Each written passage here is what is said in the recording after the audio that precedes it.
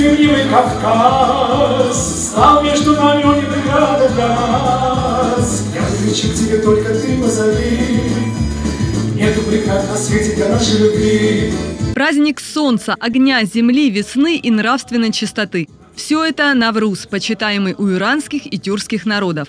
Его отмечают в день весеннего равноденствия. По традиции на столе должно быть семь блюд, начинающихся с буквы «С». А еще сладости – орехи, сухофрукты, пахлава, шакирбура, символизирующая луну. Но главное угощение – это плов.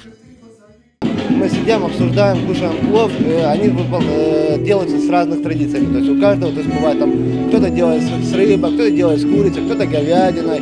А здесь нам помогли это все сделать студенты Южного федерального университета, студенты ЮБИ. Выражаем им огромное спасибо за то, что помогли нам сделать такой замечательный стол.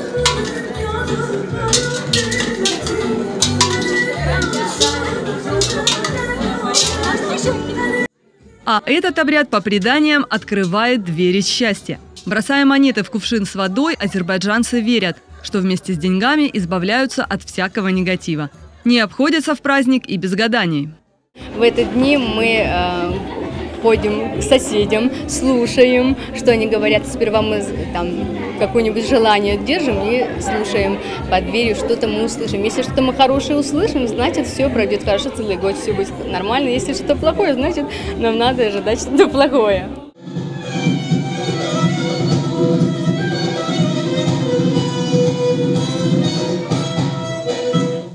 В азербайджанской культурной автономии Навруз Байрам отмечают в 19 раз. И всегда на мероприятиях присутствует молодежь. Культурно-просветительскую работу мы проводим. Молодежь видит здесь только хорошего, доброта, ну, ну, отношения друг друга, э, чтобы любили, уважали. Э, в общем, всегда помогали, несмотря какой национальности. Мы живем же в России. По словам Вагифа Мустафаева, на Дону проживает около 100 тысяч азербайджанцев. И если каждый будет укреплять дружеские связи с людьми других национальностей, праздников будет гораздо больше. Наталья Самойлова, Руслан Хамчиев, Дон 24, Ростов-на-Дону.